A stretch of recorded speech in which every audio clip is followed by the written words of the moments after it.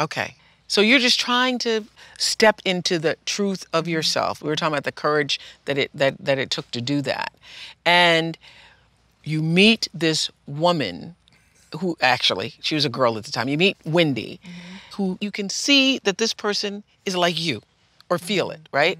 Mm-hmm. There's no way to miss Wendy, Okay. who came into my life at 12 years old, who told me to stop lying. She would wear these super short shorts with socks pulled all the way up. She'd prance around school. Yeah. So I always saw her and I was afraid of her Wow.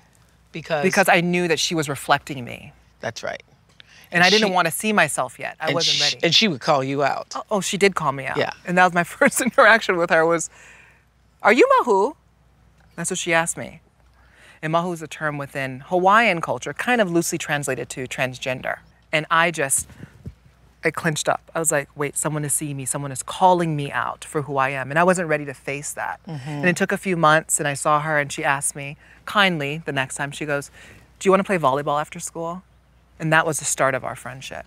And Wendy was the first person to tweeze my eyebrows, which was my first act of intimacy as a young person, having someone to finally like take care of me. Mm-hmm. Mm-hmm. And I was like, wow, this is what friendship is. And to see you. and to see me Yeah.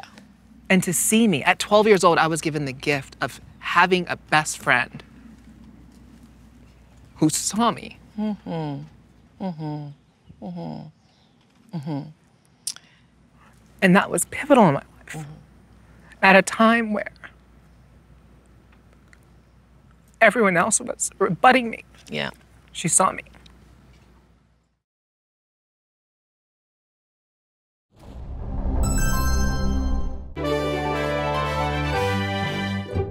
Hi, YouTubers.